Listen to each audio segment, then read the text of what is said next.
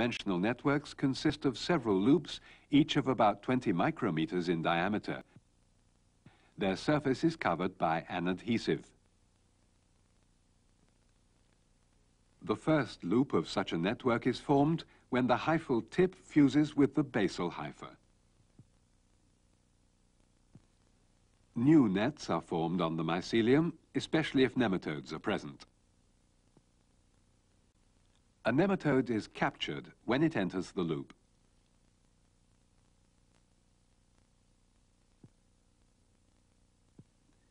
But it may also be captured if it merely touches the outside of a loop.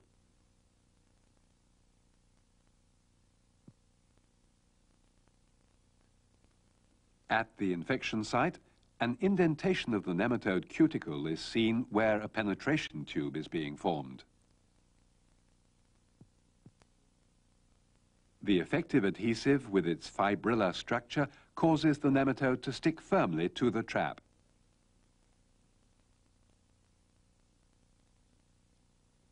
The infection tubes penetrate the cuticle of the living prey and swell to form infection bulbs before destruction of the internal organization of the nematode occurs.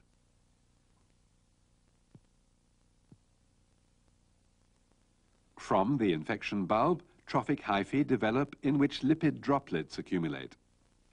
The accumulated nutrients promote the development of new mycelium and new trap formation.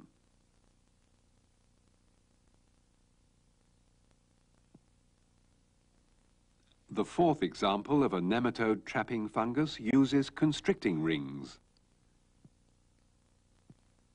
The rings of Arthrobotrys dactyloides consist of three cells attached to the mycelium by a stalk. When touched, each of the three cells suddenly swells, forming three spherical structures.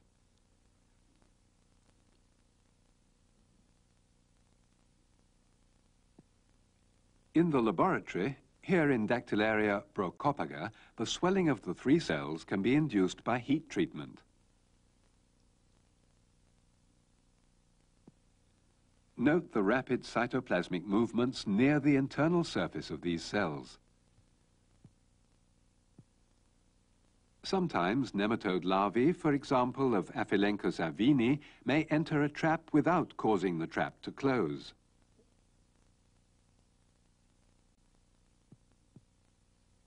After closure of the trap, hyphae from the swollen ring cells grow into the captured nematode. The digestion process is similar to that of other nematode-trapping fungi. Nutrients are transferred to the fungus. During this 28-hour sequence, lipid droplets accumulate in the hyphae.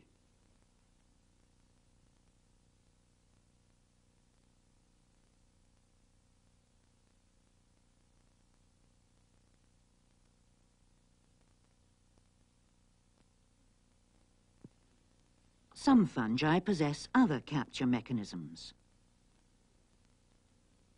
Verticillium chlamydosporium infects nematode eggs by using its hyphal tips. Pleurotus ostreatus produces droplets on its hyphae which are highly toxic to nematodes. This group of fungi do not form special infection structures with which to attack nematodes, but use their hyphal tips. The growing mycelium cannot attack a moving nematode, but invades the eggs of cyst and root knot nematodes. These are eggs of the sugar beet nematode Heterodera schachtii, a serious parasite.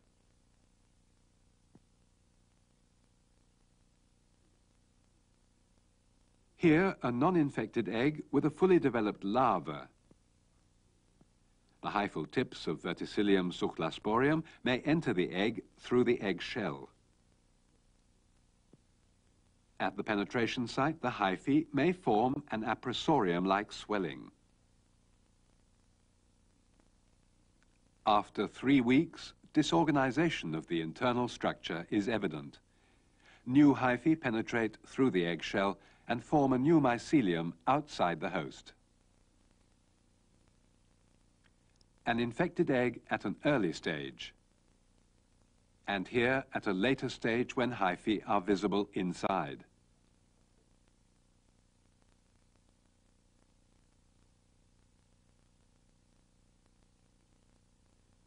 This scanning electron micrograph of a crushed egg allows a view of the dense mass of hyphae inside the shell. The final example of a fungus with nematode-destroying capability is Pleurotus ostreatus, with its toxic droplets. The fungus has developed a strategy to immobilize its victim before it is invaded by the fungus. The toxin is released from short hyphal stalks which are thickened apically.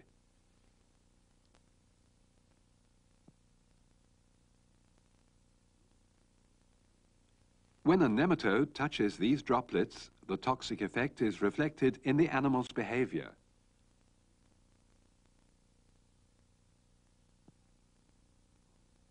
After only a few minutes, the nematode becomes immobilized and then distorted.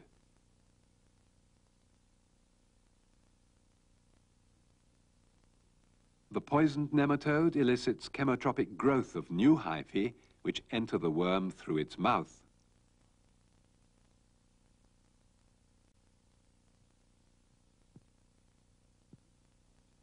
Some hyphae enter the nematode directly through the cuticle, form an infection bulb, and from the bulb, trophic hyphae. The nematode dies. At the same time, there is pronounced cytoplasmic streaming within the mycelium.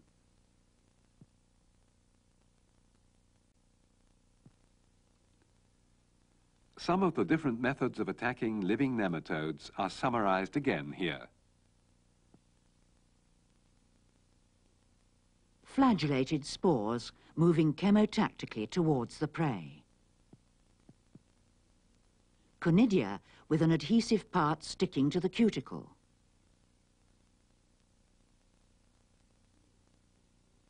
Mycelial structures having an adhesive function.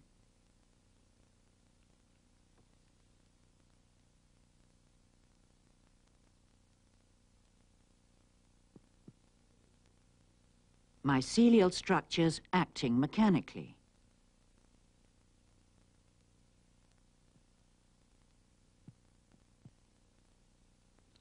hyphal tips attacking the eggs of nematodes.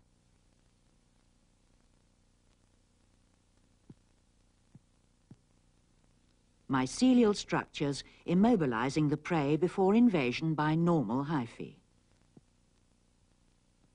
Irrespective of the infection method, the result is always the death of the nematode. The ability of nematophagous fungi to attack nematodes and use them as nutrients may have a regulatory effect on nematode populations. It is obvious that these fungi have a potential to be further developed for biological control of nematode parasites on plants and animals.